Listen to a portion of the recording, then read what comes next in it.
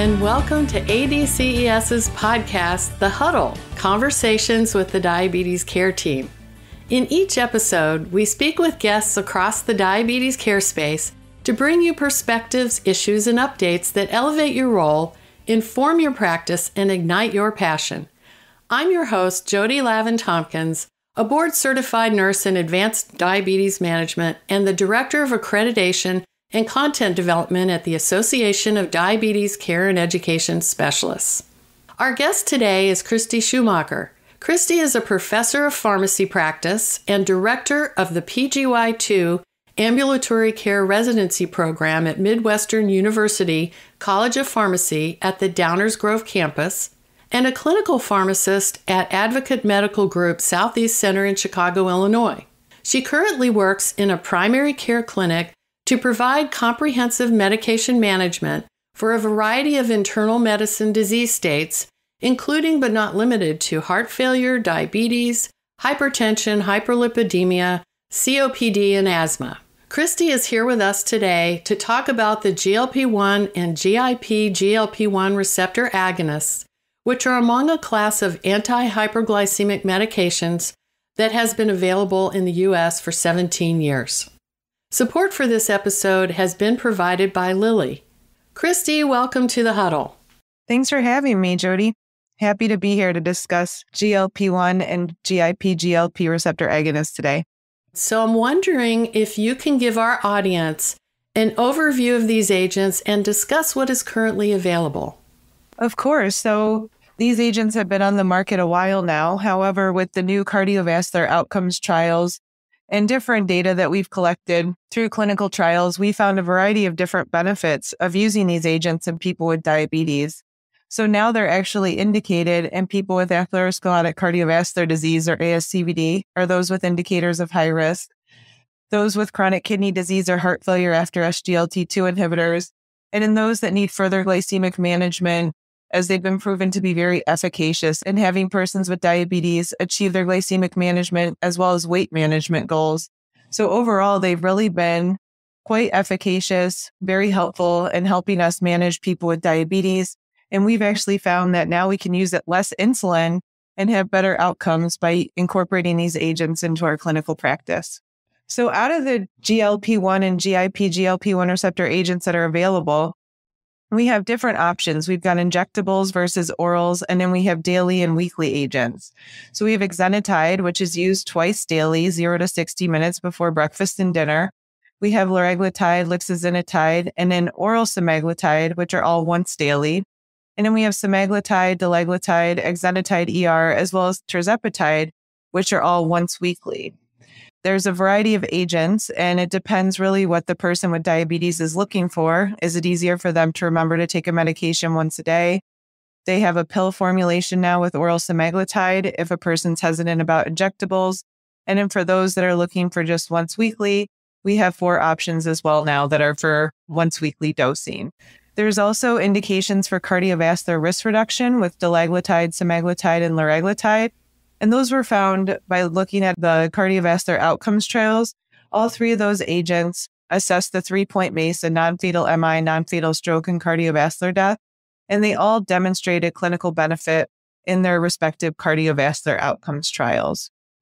So, thinking about how these agents work, exenatide, liraglutide, lixisenatide, semaglutide, and dulaglutide all work at the GLP 1 receptor and then now we have tirzepatide, which acts on both the GIP and GLP 1 receptors. Yes, it certainly is nice to have these in the toolbox. We need all the help we can get to help people reach their goals. So, can you tell us more about the two incretins and their physiologic action in the body, GIP and GLP 1 receptors? Sure. So, in persons without type 2 diabetes, the majority of insulin release after a meal is mediated by incretins, and these incretins are GIP and GLP 1.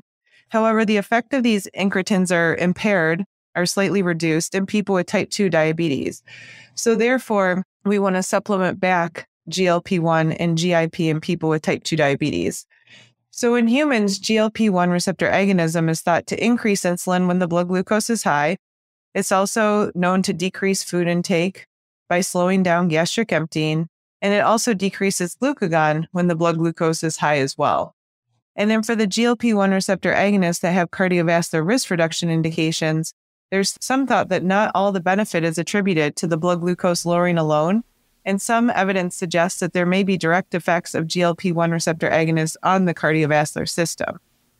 So, unlike for GLP 1 receptor activation, there isn't a medication on the market that only targets the GIP receptor. So, the actions of GIP receptor antagonism can only be inferred by experimental approaches using experimental compounds. With that being said, glucose dependent insulinotropic peptide, or GIP, exerts the following actions, some of which have been demonstrated in preclinical trials, and some have not been confirmed yet in humans, but this is what's been postulated.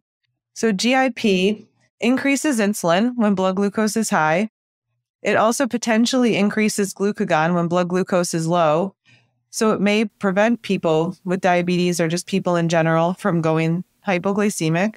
And contrary to GLP 1 receptor agonists, which are believed to induce nausea, GIP might have an anti adverse action and might mitigate some of that nausea. GIP also may decrease food intake in some preclinical models, it's been shown. And it also may improve insulin sensitivity and improve proper storage of triglycerides and use in adipose tissue as opposed to liver and other organs. Christie, thanks so much for that overview of the physiologic action. There's a lot to that. Uh, I want to move on to talk about guidelines now. And the ADA and EASD just released their updated consensus report on the management of hyperglycemia in type 2 diabetes. So, could you help us see where these therapies fit into that treatment algorithm that they released? So, thinking about the guidelines, we're all familiar with the ADA standards of care, and the new EASD ADA consensus report still is very similar on the left side of the algorithm, and that those with clinical ASCVD or those with indicators of high risk, we still want to select a GLP 1 receptor agonist with proven cardiovascular disease benefit. So, specifically, semaglutide, dulaglutide, and liraglutide. So, we could select one of those agents still on the left side of the algorithm and then for those with heart failure and CKD, SGLT2 inhibitors are preferred. However, we should still be selecting a GLP 1 receptor agonist with proven cardiovascular disease benefit if the SGLT2 inhibitor is not tolerated or if it's contraindicated, or if the A1C is still above target and people with diabetes need additional cardiovascular risk reduction. What's new is the right side of the algorithm, where now there's a larger focus on glycemic management, as well as meeting and maintaining weight management goals. And this is really where we're starting to see more preference towards the GLP 1 receptor agonist. So, when we're thinking about glycemic management, the algorithm really now focuses us or encourages us to think about including metformin, of course, but then an agent such as a GLP 1 receptor agonist with efficacy to achieve and maintain treatment goals. And of course, we want to avoid agents that might uh, lead a person with diabetes to more often have hypoglycemia. So, in general, the algorithm now recommends higher efficacy approaches so that the person with diabetes is more likely to achieve their glycemic goals. So now they start to strategize based on very high and high efficacy and intermediate agents. So very high efficacy agents are dulaglutide at high dose, semaglutide, and tirzepatide. So now preference is given to those three agents as very high efficacy agents to help people with diabetes meet their glycemic management goals. And in thinking about weight management goals as well, it's still recommending general lifestyle advice and in thinking about encouraging our people with diabetes to enter into a weight management program. And then it considers encouraging people with diabetes to choose glucose lowering therapies that have very to very high glucose and weight efficacy properties. And now they stratify it based on very high, high, intermediate, and neutral. So for efficacy for weight loss, very high efficacy for weight loss now is preferenced as semaglutide and tirzepatide, and then high efficacy for weight loss being dulaglutide and liraglutide. So now what we're seeing is GLP-1 receptor agonist and the new GIP GLP-1 receptor agonist being preferentiated as high efficacy for weight loss as well as high efficacy for glycemic management. So really starting to give preference towards picking more efficacious agents as well as thinking about helping people with type 2 diabetes meet their weight management goals. And we know that GLP 1 receptor agonists and GIP GLP 1 receptor agonists can really help our patients or help people with type 2 diabetes meet their goals. Thank you, Christie. So, we know that many people with type 2 diabetes are on more than one medication for their diabetes. So, what is your recommendation for concomitant medication use when starting a GLP 1 and GIP GLP 1 receptor agonist? Yeah. So for people with type 2 diabetes, now the guidelines really do recommend that we start people on a GLP 1 or GIP GLP receptor agonist even before insulin to help them meet their glycemic management goals. However, if a person with diabetes comes into our practice and they're already on maybe insulin or a DPP4 inhibitor or sulfonylurea, one of the things that we do is we start them on a GLP 1 or GIP GLP 1 receptor agonist and then we'll want to go ahead and start to taper off potentially the insulin or the sulfonylurea. We usually leave on metformin, the SGLT2 inhibitor, if that's already on board. However, our goal is to reduce the hypoglycemic potential and reduce concomitant insulin use and really try to derive full benefit and get up to target or maximum dose of the GLP 1 or GIP GLP 1 receptor agonist. So, what we'll do is usually we first start by de escalating insulin therapy. So, for people that were starting on a GLP 1 or GIP GLP 1 receptor agonist, I might decrease the bolus insulin um, by 20% or even the basal insulin by 20%. If they're on a sulfonylurea, let's say glipizide 10 twice a day, I'll cut the dose in half when starting a GLP 1 receptor agonist or a GLP 1 receptor agonist, really trying to remove those hypo agents that have hypoglycemia potential that really don't have any proven cardiovascular benefit and try to optimize these agents to help with glycemic management and weight loss. So I would definitely recommend de-escalating and removing insulin therapy as you're adding these agents on if possible. We've actually found that we've been able to take off bolus insulin when we've started these agents because they do help curb appetite. They reduce and slow down gastric emptying. And people with diabetes are eating less. They don't require as much insulin. And we've been able to remove mealtime insulin therapy for people with type 2 diabetes, just adding on these agents and titrating up to maximum tolerated dose. If a person with type 2 diabetes is already on a DPP4 inhibitor, we know that these agents aren't synergistic and it's really a very similar mechanism of action except the GLP 1 or the GIP GLP 1 receptor agonist has a much higher efficacy. So, to prevent the person with diabetes paying for two brand name copays, we usually just stop the DPP4 inhibitor upon starting one of these agents, just due to the overlapping mechanism of action and considerations for polypharmacy. Those are all really important points you make, Christie. And I know that anytime we go to start a new medication, we need to be able to review the side effects for the therapy. And so, can you let our audience know what the most common side effects for these therapies are? Sure. I think the most common that we see in clinical practice are nausea, vomiting, and diarrhea. And among those that do experience these, they're usually mild to moderate in severity. And they typically occur when the person with diabetes first starts the medication. However, we do notice that they go away over time.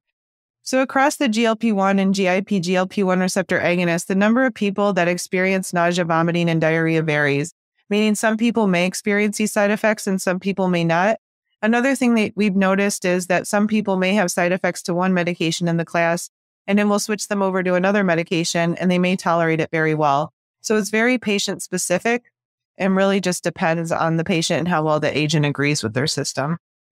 Right. So it comes down to individualization again. So, Christie, our audience is probably interested in what your experiences have been with initiating these agents and how you help mitigate the side effects and encourage persistence with the medications. So, usually when we counsel people with diabetes about starting a GLP 1 or GIP GLP 1 receptor agonist, the first thing we want to counsel them on is to get ready to eat less because we know that these agents slow down stomach emptying and they help them feel more full. So it's important to counsel people with diabetes to eat smaller size meals, to eat more slowly, and really to stop eating at the first sign of fullness. That's really going to help mitigate some of this nausea and then potentially vomiting if that develops. Another important counseling point is that the person with diabetes may start to notice that they feel a little bit more nauseous, but usually that's going to be mild and resolved within the first couple of weeks if they're eating slowly and stopping at the first sign of fullness. If they continue to have issues, it's good to recommend low fat foods.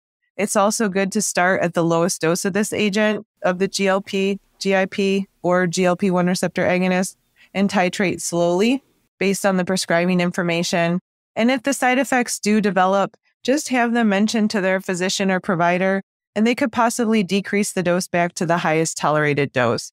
So, overall, I think the most important counseling point is really preparing the person with diabetes that they have to be ready to eat smaller, more frequent meals and then just stop eating at the first sign of fullness. And that should really help, hopefully, prevent some of the nausea that they might experience with these agents. So now we know what some of the side effects are and how to mitigate them. But what is the actual prevalence of the side effects? Sure. So nausea usually occurs in about one in five or 20% of people with diabetes, vomiting 13%, and in diarrhea, maybe about 17%. Now, these are not all the possible side effects that patients may complain about. They may also complain of decreased appetite, abdominal pain from these agents, among others. All right. At what point do the nausea, vomiting, and diarrhea become a safety concern? All right. So we have to be careful with these agents and those with gastroparesis or other GI issues. In addition, we want to monitor for adverse GI reactions that may cause volume depletion in those with acute or chronic kidney disease. So it's important to keep an eye out for that. Also, keeping in mind that exenatide IR and ER, as well as lixisenatide, have dosing cutoffs in kidney disease. So just be aware that those three do have kidney dosing adjustments. If the side effects become bothersome or don't go away, definitely counsel the person with diabetes to reach out to their provider because sometimes therapies need to be discontinued and another agent may be more appropriate. Well, Christie, you've given us a lot of great information, a nice overview of using these agents. Do you have any other considerations you want to leave our listeners with? Yeah, so in general, these are very efficacious agents. We don't use as much insulin in our practice anymore now that we have these available. And we've seen much better glycemic management as well as weight management since we've started incorporating these regularly into our clinical practice. In addition, we know from the cardiovascular outcomes trials that liraglutide, semaglutide, and dulaglutide have additional cardiovascular disease benefit. So overall, we're getting cardiovascular risk reduction, weight management, we're seeing less insulin use, and really they're just overall great for our patients. We've had a lot of success with people with weight loss, just feeling better about themselves, really kind of motivating them to start taking better care of themselves, start exercising more, eating better. So with proper counseling, we can see really great results with these agents. It's so nice to see an agent with great efficacy and such a low risk of hypoglycemia when used on its own.